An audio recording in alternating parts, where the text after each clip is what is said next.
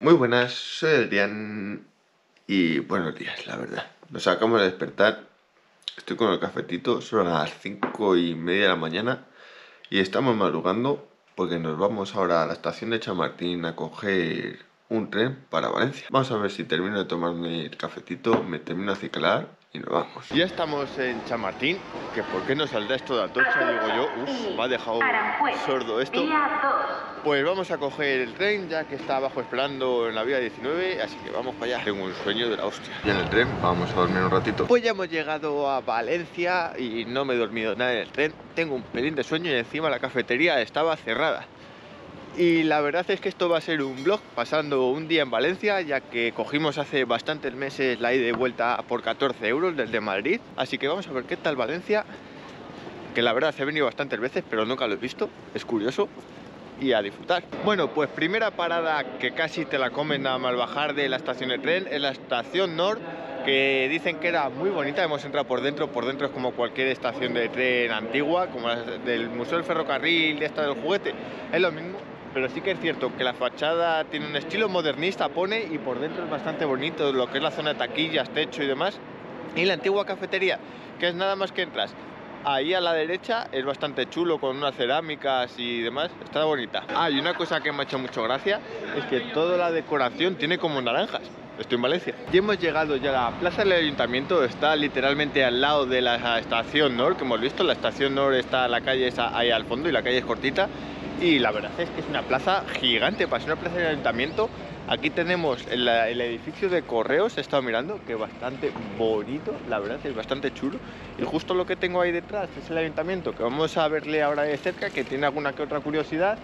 Y parece que están montando ya cosas de las vallas y cosas de esas, ya que estamos a 17 de febrero, si mal no recuerdo.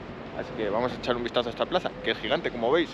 Esto que tengo aquí detrás supuestamente sería la gran fuente que he leído, pero está apagada. Tengo que decir que el ayuntamiento es bastante bonito, al menos llama la atención bastante. Lo malo que eso, que al estar con lo de las fallas, creo que esto es lo de las fallas y todo esto, la jaula esta, pues quita un poco de grandeza a la plaza pero bueno, vamos a ver una curiosidad que tiene este ayuntamiento. Y es que aunque Valencia no fuese una ciudad muy destruida durante la Guerra Civil Española, sí que sufrió bastantes ataques de bombardeos y por tierra, que dejaron un rastro que a día de hoy todavía se puede seguir viendo como tengo aquí a mis espaldas. Hubo 442 ataques, pero el más grande de ellos fue el 28 de mayo de 1937, cuando una aviación italiana que volaba desde Mallorca pues atacó la ciudad. Y su principal objetivo era este, el Ayuntamiento de Valencia, sede del Gobierno de la República. Y como digo, por todas sus fachadas se pueden ver rastros de metralla y demás. He estado leyendo que Valencia fue fundada por los romanos. Su nombre original era Valencia Edetanorum, que significaba valor de los edetanos. También he visto que la mezcla de población que tenía Valencia era brutal. Se cuenta que la época de Jaime I tenía 120.000 musulmanes, 65.000 cristianos y 2.000 judíos. Y por cierto, ¿a qué hora abren aquí las cosas? Que quiero almorzar. Llevamos un buen rato buscando algún sitio para almorzar y está todo cerrado. Están tomando el nivel de la fachada esta con la botella de agua. Se me hace extrañísimo, es gracioso. Y por fin encontramos un bar para almorzar, a ver si está rico. Y un buen almuerzo en Valencia, según me han contado, es aparte del café o lo que te quieras tomar, están las aceitunas, los cacahuetes y el buen bocata. Yo me he pedido un bocata de panceta con longaniza, la cámara uno de tortilla. Vamos a coger fuerzas para este día. Pues hemos almorzado ya aquí en el bar Las Arenas, justo está en el centro y la verdad es que muy bien, todo lo que habéis visto antes, 9.80, perfecto y está bien rico. Hemos cogido fuerzas, continuamos. Y caminando justo aquí en el centro tenemos el Palacio del Marqués dos Agua, que la verdad es increíble, la fachada es me ha gustado muchísimo, me ha sorprendido y sobre todo la puerta, toda la ornamentación que tiene, mola bastante. La verdad es que era algo que no me acuerdo que era dentro. Vale, lo pone aquí arriba la plaquita. Es el Museo Nacional de Cerámica y de las Artes Santuarias González Martí. Tengo que leer más. Y hemos llegado a la Plaza Redonda, hace honor a su nombre, Plaza Redonda. Es una plaza redonda con cuatro entradas, una fuente en el medio muy chula. Está llena de casetitas así de costura, de hilos y alrededor souvenirs. Muy bonita, me gusta, ¿eh? Una plaza pintoresca.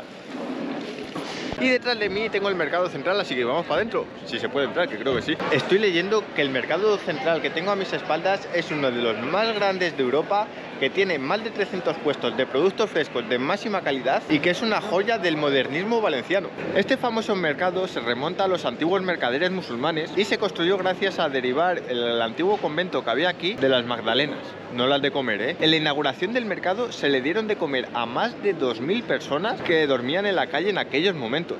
Una buena acción siempre está bien. A ver, tengo que decir que lo primero que he dicho nada más entrar es que arquitectónicamente mola muchísimo, el techo es precioso. Y luego el mercado en sí se me parece mucho al mercado de San Miguel en Madrid, ¿vale? Por hacer un símil aunque este tiene más variedad y los precios, según estoy viendo, no son tan altos. voy a sacar las gafas de sol ya, pero lo que tengo aquí detrás de mí es el Palacio de la Seda, a ver si podemos entrar a verlo, si está ya abierto. Y por cierto, esta lonja de la Seda es uno de los edificios más bonitos, tanto por dentro como por fuera aquí en Valencia, hecho por el cual le llevó a formar parte del Patrimonio Mundial de la UNESCO. Pero hay algo que pasa desapercibido a todo el mundo casi, que os lo voy a enseñar ahora. Y lo que pasa desapercibido son estas gárgolas que tiene a lo largo de su fachada, que alguna está un poco subida de Ya hemos entrado a la Loja La Seda, dos euritos la entrada, está tirado y lo primero que nos encontramos es un patio muy bonito lleno de naranjos. La verdad es que la sala está con las columnas, perdonad, no me sé el nombre y no lo he visto en ningún lado, es bastante imponente y bien chula. Pues antes de salir ya hemos visto todo lo que es la lonja La Seda y que la verdad es que por dos euritos merece la pena totalmente. Veis unas cuantas estancias, aparte de este patio lleno de árboles frutales, naranjos, mandarinos y limoneros muy chulo, me ha gustado y por dos euritos es lo que digo. Merece la pena totalmente. Y si eres estudiante era 1,50. Y aprovechando que vamos a ver a Malcafa su tienda, me he encontrado con este parquecito, así con este arco, la biblioteca pública ahí al fondo, está bastante chulo. Pues hemos salido ya de Cartoon Corp, ha habido comprita, un Metal Garurumon, una tienda con unas figuras increíbles, también tienen cómic, manga, juegos de mesa, Magic. Como estáis viendo en las imágenes, es maravilloso. Si entráis está David Malca, darle un saludo, que es una persona muy maja y seguro que os trata muy bien, nos recomienda cosas chulas y la verdad es que hay que leer cómics, hay que leer cómics, manga, libros hay que leer y sobre todo si te gusta también coleccionar figuritas, adelante, no te lo pierdas. Y al lado de Cartoon está Futurama, una librería de cómics que me la habían recomendado infinidad de veces. Si vas a Valencia tienes que entrar a Futurama, he entrado, he comprado un cómic de Mickey, ya lo enseñaré luego por encima o si no en el canal Entre Bocadillos si os gusta el cómic, el manga, esas cosas, sabéis que en mi otro canal en el que reseño estas cosas, lo vuelvo a decir, leer cómics, que es necesario y molan. Y no solo son superhéroes. Y por cierto, que no he dicho, la librería por dentro, impresionante, me ha recordado a la de Bruselas, cuando estuve de viaje en Bruselas, a doble altura, todo lleno de cómics, un buen trato, me ha gustado, me ha gustado muchísimo. Y hay material para aburrir, pero para aburrir, para pasarte horas ahí dentro. Y me encuentro ahora mismo en la Plaza de la Reina, una de las plazas más concurridas de la ciudad, y más grandes, me voy a quedar ciego ahora mismo, pega el sol aquí que da gusto, ahora me saco las gafas. La verdad es que es una plaza muy bonita con los edificios que hay alrededor, como estaréis viendo si veis algo con el sol, perdón. Y justo a este lado está la Catedral de Santa María, creo que era con el Micael, con el Miguelete, no sé muy bien cómo se dice que es una torre mirador. Vamos a ver si entramos a la catedral, que tiene buena pinta y hay muchas curiosidades dentro. Aborto, aborto la misión de entrar a la catedral, lo siento, no pago 18 euros, que valdrían los dos por entrar. Lo siento, por entrar a una catedral a una iglesia, que para mí tendría que ser gratis, no lo pago. Dentro de la catedral se podría ver el Santo Cáliz del siglo I, que muchos dicen que puede ser el Santo Grial, el famoso Santo Grial, se podría encontrar aquí dentro, al igual que algunos frescos en el altar mayor que han estado cubiertos hasta hace bien poco y alguna pintura de Goya. Pero es que no pago 9 euros, lo siento. Y luego, desde aquí, desde el Micael, desde el Miguelete, se dice que se tiene al mejor el vista de todo Valencia. Y por cierto, si te preguntas por qué esta torre se llama el Miguelete, es que la campana que se puso en su parte alta fue inaugurada el día de San Miguel, por eso lo del Miguelete. Y ya con gafas puedo ver mejor, porque juegue cómo ha salido el sol. Echaros crema, no os queméis. Y justo estamos ya en la Plaza de la Virgen, que es detrás de la catedral, esto que tengo aquí, la catedral, que es donde se diferencian perfectamente los diferentes estilos arquitectónicos que esta tiene por fuera y la foto desde aquí es bastante chula ya que se ve todo perfectamente. Una plaza bastante bonita que se puede ver alguna capilla como la de los desamparados que tengo a mis espaldas y alguna fuente por detrás. Y por cierto, nunca he visto una farola más mal puesta que esta ya que te fastidia todas las fotos y todo lo que quieras hacer de aquí, que es precioso. Una cosa sí que tengo que decir de aquí de Valencia que me está gustando y es que todas las calles así del centro, aparte de que todo lo que tienes que ver está cerca una cosa de otra, molan, son bonitas, son agradables de pasear, de perderse por sus callejones y calles.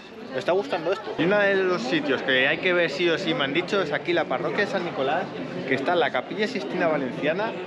Hay que pagar, lo que no sé es cuánto hay que pagar, ahora lo miro, pero vamos, que hay cola, voy a hacer la cola. Pues ya estoy dentro de la iglesia de San Nicolás, no sé si se me escuchará, estoy hablando bajito por respeto. La entrada ha costado 14 euros, los dos, los dos así que 7 por cabeza y la verdad es que merece la pena. Solo lo que estoy viendo nada más entrar es precioso. Os estaré dejando tomas o fotos lo mejor que se vea, porque encima voy sin trípode, que no se entrar sin trípode, pero pinta muy chulo. Pues hemos salido de la iglesia de San Nicolás y la verdad está chula. Si te gusta el arte es espectacular. Si no te gusta el arte no entres, la verdad, porque para mí lo que merece la pena son todas las pinturas del techo y demás, todos los frescos. Y eso sí, es caro, la entrada es cara merece la pena si te gusta el arte, pero si no es cara. Y ya hacía hambre, así que vamos a entrar al Handez a comer una buena hamburguesa que no sabéis las ganas que tenía de probar este sitio. Desde que lo vi en Joe Burger Challenge, tengo muchas ganas. Estamos dentro y me voy a pedir la hamburguesa Shutdown, que es la mejor burger de Valencia de 2021, que lleva vaca rubia gallega, cheddar, cid bacon, salte caramel peanut butter y barbacoa de la mama. Qué buena pinta. Y luego voy a pedir una croqueta, a ver qué tal. Ha llegado la croquetita de pollo desmenuzado, vamos, de pule pollo. Dos euritos, a ver si merece la pena.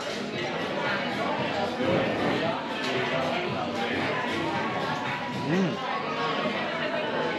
Jugosita. Muy, muy rica merece totalmente la pena por dos euritos. Empezamos bien. Ha llegado la burger por aquí, la showdown y tiene un pintote increíble. Vamos a probarla. He partido la burger, sé que no se parte la burger y vamos a probarla.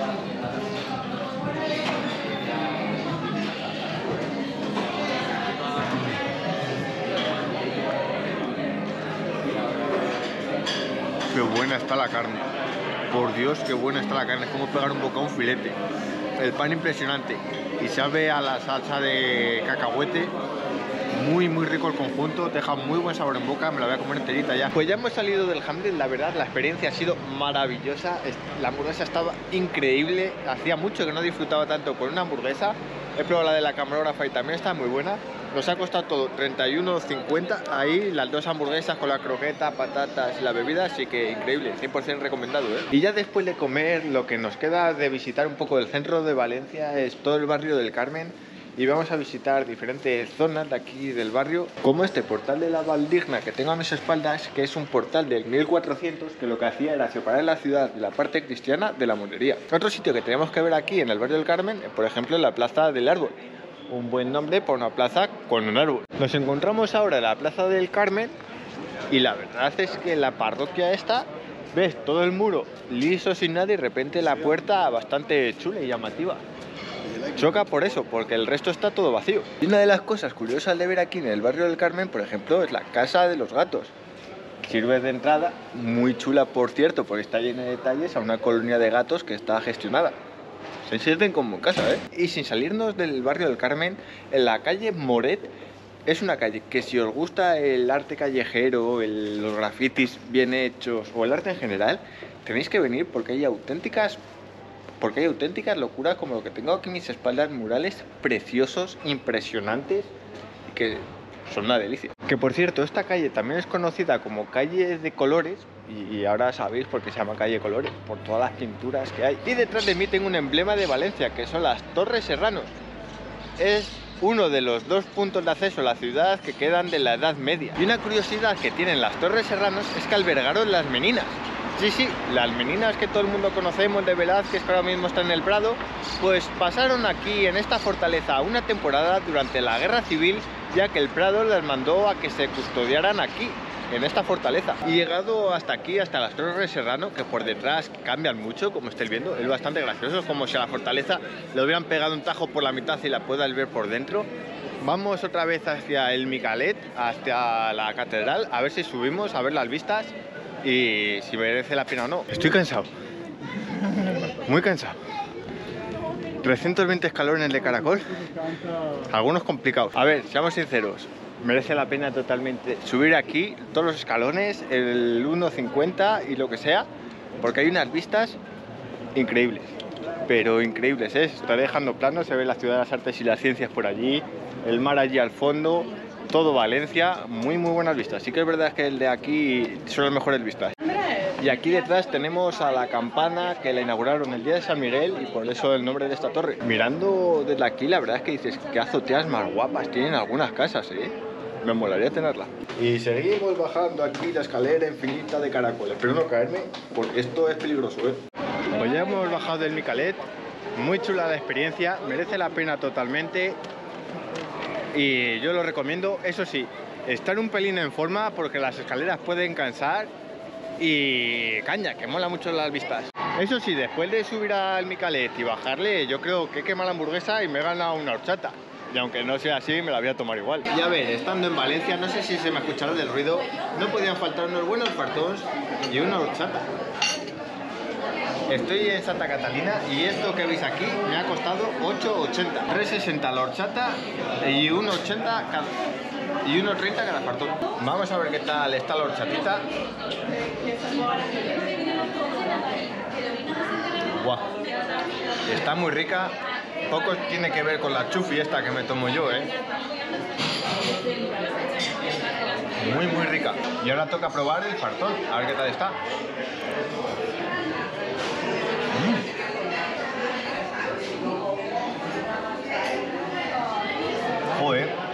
Poco se parecen a los fartons polo esto que venden en el supermercado. Esto hay sí o sí. Que empape, que empape.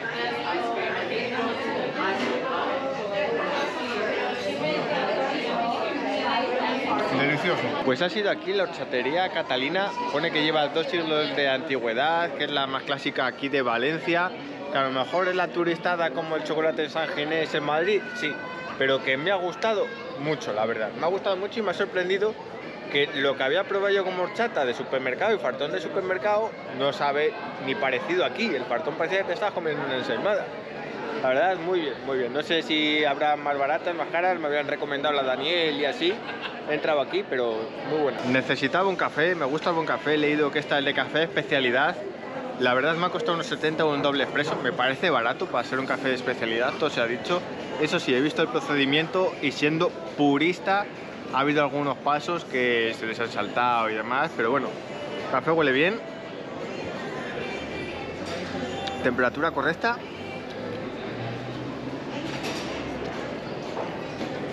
Está bueno, está bueno. Les he probado mejores, pero está bastante, bastante bueno y por unos 70 me parece correcto. Por cierto, el café se absorbe. Que suene lo oxigenas en boca y le saboreas mejor. Pues vamos a dar un paseíto porque ya lo que hay del centro lo hemos visto todo. Vamos a ver si llegamos a la ciudad de las artes y la ciencia dando un paseo. Hay un paseo largo, la verdad, hay un cacho largo. Pero bueno, así hacemos tiempo, que el tren de vuelta sale a las 9 y tenemos unas cuantas horas por delante. No vamos a entrar a nada, seguramente, a no ser que se nos vaya la pinza pero quiero grabarlo otro día bien, pasar todo un día, ver el oceanográfico, intentar contactar con así alguien y luego ver el hemisferio, ciudad de la ciencia y todo eso. Pero bueno, por verlo por fuera, que me han dicho que ya por fuera solo merece la pena. Lo he visto desde lejos, desde arriba del Miguelet, de, desde arriba del Micalet, lo he visto, pero bueno, vamos a dar un paseíto, que hay que andar. Y ahora estamos en el parque del Turia, rumbo a la ciudad de las artes y las ciencias, como hemos dicho, y estamos en el puente de las flores de la alcaldesa Rita Barberá. Fue creado en el 2002 y fue diseñado por Santiago Calatrava. Como veis, está adornado entero por flores y se cambia hasta cuatro veces al año. Lo que esto hace que este puente sea el más costoso y caro de la ciudad, costando solamente el mantenimiento de flores y, y jardineros varios cientos de miles de euros al año. Ahora estoy en el puente del mar, que justo está al lado del puente de las flores, y al final con la tontería el paseo hasta la ciudad de las artes y las ciencias por aquí, está siendo chulo, ¿eh? Bueno, ya así a lo tonto de lo bobo, el palau de la música, que seguro que las has escuchado muchas veces por la tele y en eventos. Y por cierto, que lo acabo de ver por aquí en una farola, me estoy dando cuenta que este parque tiene wifi gratuito. Aunque ya sabéis, si os conectáis a un wifi gratuito, precaución. Como veis, ya se está viendo ahí la ciudad de las artes y las ciencias. Ya hemos llegado. Pues ya hemos llegado a la ciudad de las artes y las ciencias de Valencia. Y lo primero que he dicho, nada más verlo de lejos, es la hostia, qué grande es esto. Porque no me lo imaginaba que era tan sumamente grande los edificios que hay aquí. No voy a entrar a ninguno, como he dicho, pretendo venir otro día y pasar el día y grabar todo por aquí bien, pero quería venir a verlo. Al menos todo el mundo me ha dicho, tienes que ir al menos a verlo, que si no se te va a hacer el día pesado en Valencia.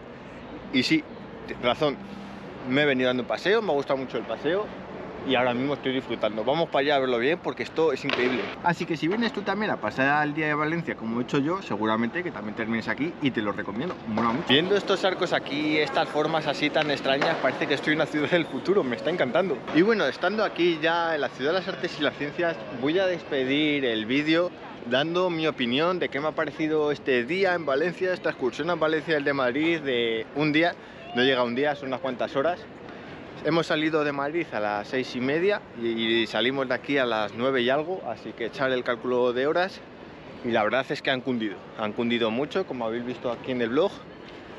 me ha gustado mucho Valencia, como he dicho, había estado pero no había visto la ciudad, es así de curioso. Y lo que he visto, he paseado por sus calles, me han parecido muy, muy chulo. Así que si estás en Madrid, tienes un día tonto o tienes la suerte de pillar los billetes a 7 euros ida, 7 euros vuelta, 14 euros ida de vuelta, puedes venir. Si quieres comer por donde he comido yo, pues ya sabes lo que vale. Si no, te puedes traer un bocata y lo vas a disfrutar el día igual. Y me parece una forma estupenda de pasar un sábado, un domingo o el día de la semana que sea, disfrutando de una ciudad muy bonita, muy agradable. Y sobre todo, si te hace el buen tiempo que me está haciendo a mí estando en febrero, pues cuidado. Queda pendiente el venir aquí otro día para grabar todo esto por dentro y demás pero es una excursión que como digo la recomiendo sí o sí y os la montéis por vuestra cuenta. ¿A ti, camarógrafa, qué te ha parecido? Bien, es que suscribo lo que has dicho tú, tal cual. Es, un día muy chulo, diferente. Un día diferente. Me han dado, que lo he mirado hace un poco ahí atrás, unos 23.000 pasos, que mira la pulsera, para que veáis un poco la matada o si es mucho para vosotros o no. Hemos venido andando hasta aquí, pero hay autobuses y demás. Ya depende de cada uno lo que quiera ver te enseña más o menos lo importante. Eso sí, déjame abajo en los comentarios si eres de aquí de Valencia o has estado, qué recomiendas tú ver, qué me ha faltado por ver. Porque como digo, como voy a venir otro día, pues así puedo complementar y descubrir otras cosas, o otros sitios donde comer o cualquier cosa. Perdón, que había mucha gente a mis espaldas y no me estaba dando cuenta por no pasar en medio de todos. Así que lo dicho, déjame abajo en los comentarios y sobre todo si me he equivocado o me ha bailado algún dato, igual, encantado para saber qué es lo correcto y que el resto de gente que vea el vídeo también. Y sobre todo, si te ha gustado este vídeo, dale un buen like, suscríbete para estar tanto de todos los vídeos que están por venir al canal, compártelo con tus amigos, mascotas, familiares, con quien quieras, o si no, un dinosaurio res te cagará en la cabeza. Y ya solo tengo que decir que desde aquí, desde Valencia, desde la ciudad de las artes y las ciencias, Al final, para hacer tiempo, entramos en el Cosmocaisa de aquí de la ciudad de las artes y las ciencias, ya que nos sobraba algo de tiempo y al ser de la Caixa, pues tiene 5 entradas gratis para entrar. El edificio por dentro era increíble y la exposición que pudimos ver era de colores con fotos de National Geographic, que sinceramente había fotos chulas, pero se me quedó un poco pequeña y sin más. He visto expos en Cosmocaisa más bonitas. Pero si venís y sois de la Caixa, ya sabéis, entrada gratis y por cierto, los baños también son gratis y están muy bien.